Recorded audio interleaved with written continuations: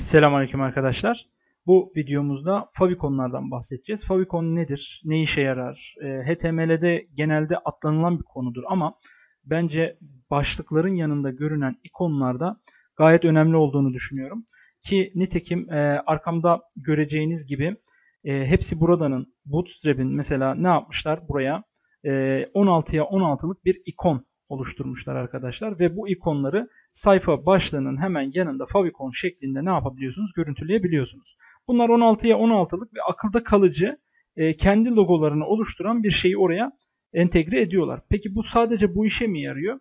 Hayır. Bunun haricinde bir kullanıcı sizin web sayfanızı ana sayfasına yani e, masaüstünün üzerine koymak isteyebilir. Bu üzerine koyduğunda da o favicon dediğimiz ikon arkadaşlar orada görüntülenecektir ki bence önemli bir unsur bu da. Mesela bir hepsi burada ya da Bootstrap'i arkadaşlar e, favicon oluşturalım. E, daha doğrusu favicon değil de burada mesela masa üstüne kısa yol oluşturduğunuzda şöyle e, diğer araçların içinde kısa yol oluştur var burada. E, kısa yol oluştur dediğimizde bakın burada kısa yol oluşturulsun mu diyor. Oluştur dedim. Bakın şimdi masa üstüne geldiğimde gördüğünüz gibi favicon olarak oluşturduğum ikon benim masa üstüme geldi ve ben buna çift tıkladığımda arkadaşlar ne yapabiliyorum? Artık o web sayfasına gidebiliyorum. Bu da basit, güzel bir özellik. Şimdi e, peki web sitelerinde biz bunu nasıl yapacağız? Bununla alakalı zaten e, videomuz olacak. Ayrıca şu favikonların arkadaşlar animasyonlu bir şekilde yani GIF animasyonlarını buraya e, ne yapabiliyorsunuz? Koyabiliyorsunuz. Bu da bence önemli bir e, unsur. Şimdi buraya geldik ve şuradan hemen Visual Studio kodu açıyorum.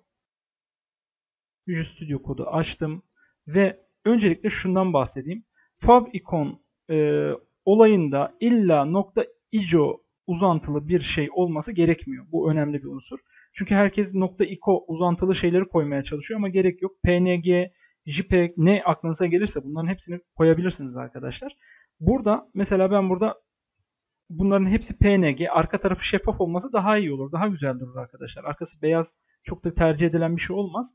E, ve burada bayrak gifimiz var. Bunu da koymaya çalışacağız. Şimdi favicon nasıl koyulur? Zaten en kolay e, konu o bence. Açmıştık gerçi bunu. Burada geldim. E, file open folder diyerek şöyle masa üstüne arkadaşlar favicon klasörünü açıyorum.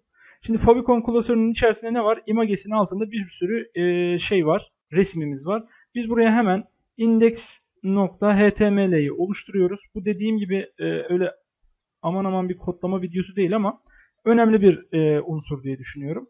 Şuraya geldik arkadaşlar. Şimdi Ctrl S yaptığımızda ve F12'ye bastığımızda bakın gördüğünüz gibi dünya ikonu vardır. Bu favicon belirlenmeyen her şeyde bu zaten ya sayfadır ya dünyadır arkadaşlar. Ee, bu şekilde ne yapılabilir? Gösterilebilir. Bu arada şunları bir kapatayım arkadaşlar. Evet. Şimdi onu da kapattık. Neyse Open Folder'la tekrar açarız. Hemen Favicon'u tekrar açtım. Şimdi e, buraya baktığımızda arkadaşlar biz burada Favicon'u yaparken ne yapacağız? Link deyip Ctrl Space'e bastım. Images'in altındaki mesela analiz PNG. Bunu getirmek istedim. Şimdi bakın şu dünya resmi yenilediğim zaman evet şu an çalışmadı. Niye çalışmadı? Hemen bakıyorum. Yaptığımız aslında çok basit bir hata. Link rel style sheet demişiz. Sanki bir stil dosyası alıyormuşuz gibi. Ctrl Z diyorum. Şunu bir şuradan kaldırayım. Şöyle yapacağız arkadaşlar. Link dedikten sonra şöyle burada aşağı kısımda link favicon var. Link favicon tabi siz farklı bir e, editör de kullanıyor olabilirsiniz. Hiç önemli değil. Burada link rel style sheet değil de shortcut ya da ikon. Shortcut ve ikonu beraber kullanıyorsunuz. Burada favicon.ico dediğine bakmayın. Burayı biz kendi bilgisayarımızda bulunan herhangi bir resimle mesela analiz png ile değiştiriyorum. Burada da x ikon değil de png diyorum. Bu kadar. Şimdi gel, gelip burada yenile dediğimde bakın gördüğünüz gibi o ikonu buraya ne yaptı? Yerleştirdi. Burada istediğiniz herhangi bir resmi de buraya ne yapabilirsiniz? Alabilirsiniz arkadaşlar. Şuradan gelin bakalım. Mesela çocuk demişiz. Çocuğu aldık. Şöyle geldik burada yeniledik. Bakın şurada bir programcı çocuk duruyor. Ayrıca şurada Instagram'ı yaparsak çok daha belirgin olacaktır diye düşünüyorum. Instagram'ın PNG'sini aldık. Burada geldik. Yenilediğim zaman bakın Instagram'ın e, faviconu buraya gelmiş oldu. Gayet basit kullanışlı bir şey. Ya da şunu yapabilirsiniz ki e, şöyle diyeyim. Mesela bir Photoshop e, ile kendi firmanızın logosunu yapıp oraya hemen e, koyabilirsiniz favicon şeklinde ki bence önemli bir durum diye düşünüyorum. Çok göz ardı edilse de. E, açılırken hemen şöyle yapalım. Kaça kaçlık oluşturacağız bunlar önemli. 16'ya 16 piksel orada dursa da arkadaşlar biz şunu yapacağız. E, 512'ye 512'lik bir döküman oluşturun. Yani pikseli yüksek, yüksek olmasında bir sakınca yok. E, RGB modda e, oluştur dedik. Burada hemen hızlı bir şekilde bir şey yapacağım arkadaşlar. Ne diyelim? Şöyle ne diyelim? Şurada hemen sosyal bilişim kanalına mesela favicon yaptığımızı düşünün. Şöyle yaptım. SB büyük harflerle. Bunu bu şekilde şuraya aldım. Sonra bunu ne yapalım? Buraya sığdıracak şekilde şöyle şöyle evet ön plana çıkarmaya çalışacağım arkadaşlar ve ben bu ikonu kendi sitemde favicon şeklinde kullanmak istiyorum. O yüzden yapıyorum bunu. Şöyle Aa, niye böyle yaptın sen? Evet biraz sıkıntı yaşadık. Program kaynaklı. Hemen şunu şöyle yaptık. Evet şunu da şu şekilde yaptık. Yeterli diyorum arkadaşlar. Çok da kurcalamayalım. Burada e, şu katmanı hemen sileyim. Bunun PNG olarak kaydedilmesini ben önemsiyorum. Şu arka taraf şeffaf olsun. E, çünkü sitede arka taraf beyaz çok da güzel durmuyor. Dışa aktar PNG olarak dışa aktar diyorum.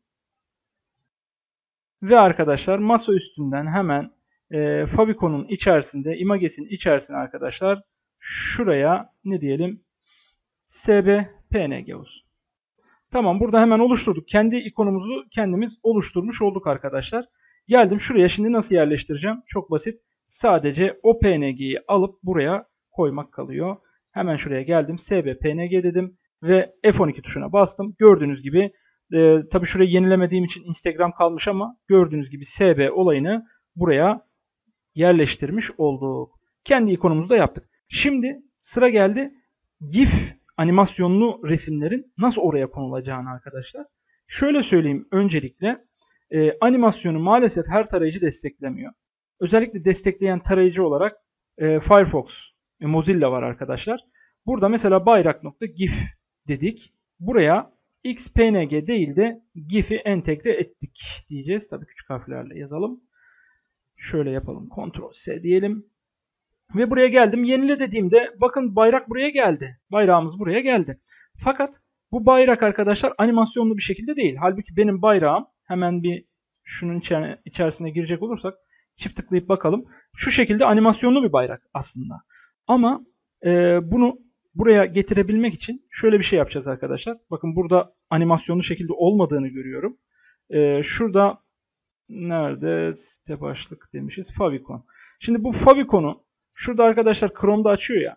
Bunu biz Mozilla'da, Firefox'ta açtığımızda bakın gördüğünüz gibi şurada animasyonun gerçekleştiğini görüyorum. Maalesef tarayıcı desteğinden kaynaklı arkadaşlar. Her tarayıcı desteklemiyor.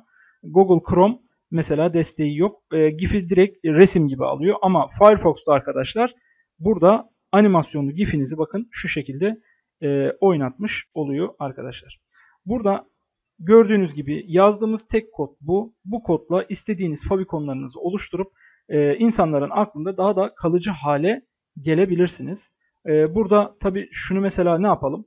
Şöyle daha deminki gibi favicon oluşturduğumuzda bakın kısa yol oluştur çıkmıyor arkadaşlar.